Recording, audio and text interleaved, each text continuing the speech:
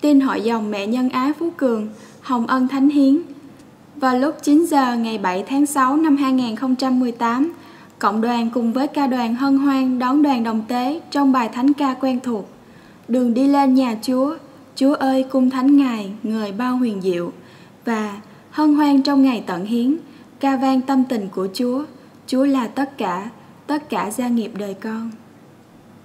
Chủ tế Thánh lễ tạ ơn khấn dòng tại Hội dòng mẹ nhân ái là Đức cha Du Xe Nguyễn Tấn Tước, giám mục giáo phận Phú Cường, đồng tế với Đức cha có quý cha trong và ngoài giáo phận cũng như thân quen với các khấn sinh. Mở lời vào thánh lễ, Đức cha mời gọi cộng đoàn cùng dâng lời ca tụng hân hoan tận hiến trong ngày khấn của hồi dòng cùng với năm chị em tiên khấn và sáu chị em khấn trọn. Quả là hồng ân mà Thiên Chúa yêu thương mời gọi đồng hành nâng đỡ, nhờ cuộc đời với tất cả niềm vui đem lại vinh danh Thiên Chúa và mang lại hạnh phúc cho con người, chúng ta cùng xin Chúa cho các chị em tuyên khấn sống ơn gọi cách tốt đẹp như lòng Chúa ước mong. Sau bài chia sẻ của Đức Cha là nghi thức khấn lần đầu và khấn trọn đời.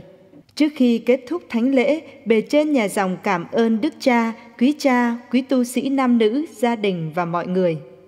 Đức cha Du Xe đáp từ rằng Ngài rất vui mừng và cầu chúc hội dòng phát triển. Đức cha mong nhà dòng mở ra để đón nhận và phát triển và không quên lời nhắn nhủ của Đức Giáo Hoàng. Mong hội dòng sống khó nghèo, mở ra sự sống chung và phục vụ chung. Xin chúc mừng. Sau bài hát kết lễ, những tấm hình lưu niệm được lưu giữ lại để ghi dấu ngày hồng phúc hôm nay. Thánh lễ tạ ơn cũng như tuyên khấn của hội dòng mẹ nhân ái cũng đã khép lại.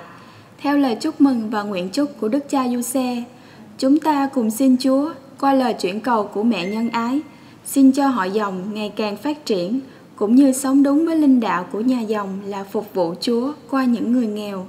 Xin cho những khấn sinh ngày hôm nay chu toàn ơn gọi cũng như bổn phận và mỗi ngày đi theo sát Đức Giêsu hơn nữa.